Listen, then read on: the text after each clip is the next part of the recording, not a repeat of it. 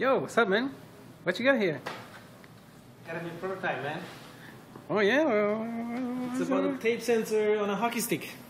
Oh yeah. Well, what's the, what, what does that do? So uh, you know, uh, it makes uh, kids uh, happier because uh, they know how uh, well they shoot. Uh, Nice, is nice, nice. little uh, laser light here. Uh-huh, uh-huh. So we follow the fiber here. It's a little optical fiber, very small, tiny. Optical coupler here underneath, homemade. Goes to the laser.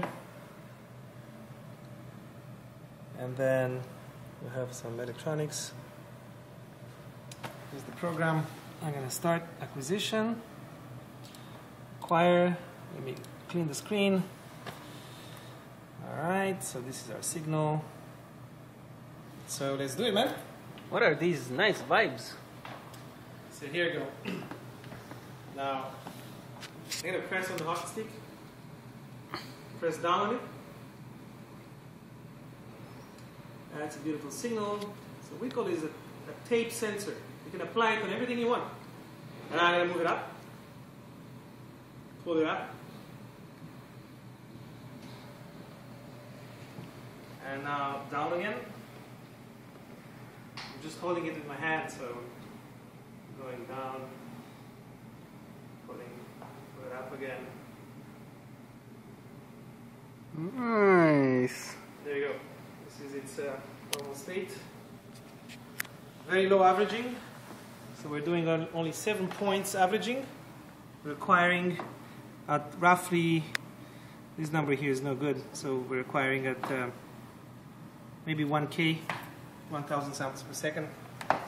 This can be uh, hugely improved if we increase the uh, acquisition rate and do some averaging on the fly apply some filtering to the signal to clean it a little bit.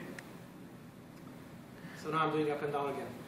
All right, but this sounds nice. But um, how am I gonna play with all these electronics uh, around? Well, these are gonna be, sh- we're gonna shrink this down and we're gonna put them inside the hockey stick. So uh, everything is gonna be contained here, wireless, talks to your cell phone, and you have fun playing hockey. And in the end, the hockey stick tells you if you had a good shot or if you had a bad shot. So now the hockey stick becomes your uh, coach. That's the idea here. Smart. And am I gonna have this equipment. fiber in my hand? Uh, am I gonna break it or something? No, this one can stand uh, abuse. We can actually make a groove inside the stick, put a fiber in, put some epoxy over it, and there you go. You're ready to uh, Or can it be ready to play hard, man. can it be built in the stick? Exactly. When, when they make the stick out of Battery fiber? powered, wireless, talks to your cell phone. After the game, you look at your uh, profile, and we can also put other types of sensors like tilt, acceleration, orientation.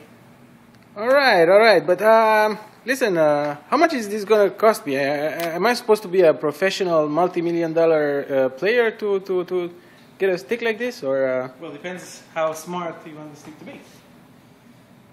You know, just for this tape sensor, it's just a couple of dollars.